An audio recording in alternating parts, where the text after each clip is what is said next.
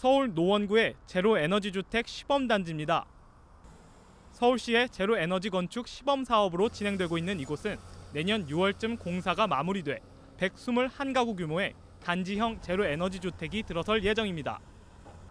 제로 에너지 주택은 최소한의 냉난방으로 적정 실내 온도를 유지할 수 있게 설계돼 에너지를 절약하고 태양광 등 신재생 에너지를 사용해 에너지를 자급자족할 수 있다는 장점이 있습니다.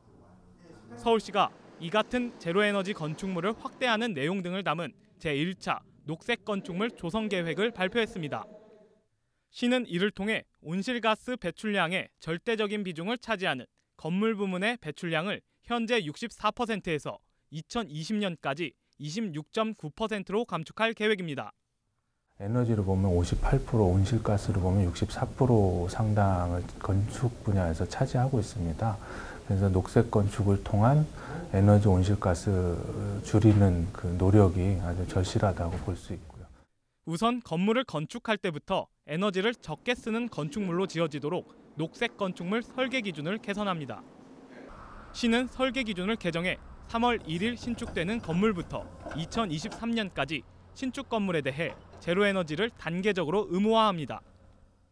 이와 함께 기존 건축물에 대해서도 에너지 효율이 개선되도록 촉진할 예정입니다. 시가 관리하는 준공 10년이 넘은 연면적 3,000제곱미터 이상의 공공 건축물 중 에너지 소비가 많은 절반을 출연해 매년 맞춤형 개선에 들어갑니다.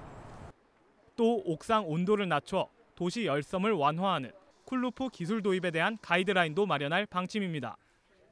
마지막으로 시민 생활 속에서 에너지 절약을 유도하기 위해 시민과 전문가가 함께하는 green governance를 구축해 시민 참여를 확대해 나갈 계획입니다. TBS 문기혁입니다.